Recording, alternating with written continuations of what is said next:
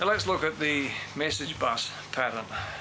Um, the context you have several cooperating applications um, possibly running on several different servers and they need to, to exchange information.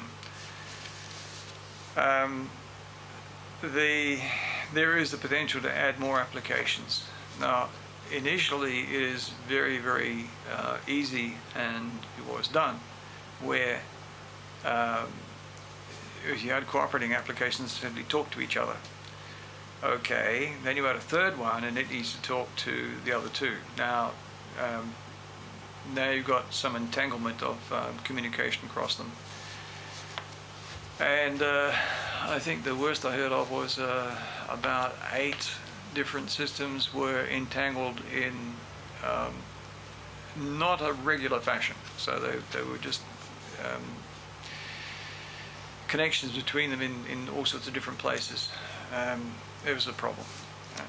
So the problem is that as an integration solution grows, how can you reduce the cost of adding more applications and how can you how can you maintain the independence of the applications so that you don't have this this complete mutual independence mutual lockup of the whole thing the forces communication between applications usually creates dependencies between the applications true in a configuration we have point-to-point -point connectivity the coupling has a quadratic growth with a number of applications you've got two applications you've got two connections, Three applications, you've got three by two.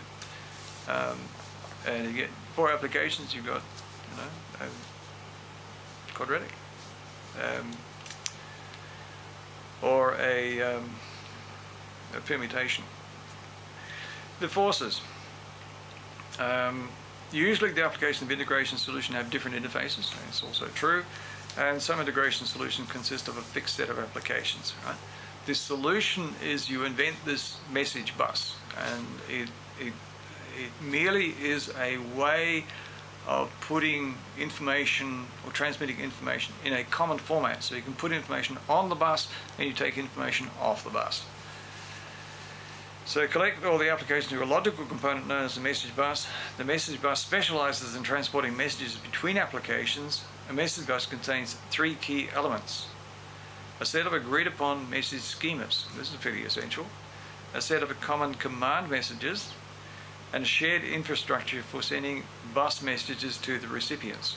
So you could, uh, depending on the bus, you could um, put the address of where it's supposed to go and, and then the message, or you could simply put the message and leave it up to uh, one of the applications on the bus to recognize, oh, this is my responsibility and deal with it. Either way, it'll work.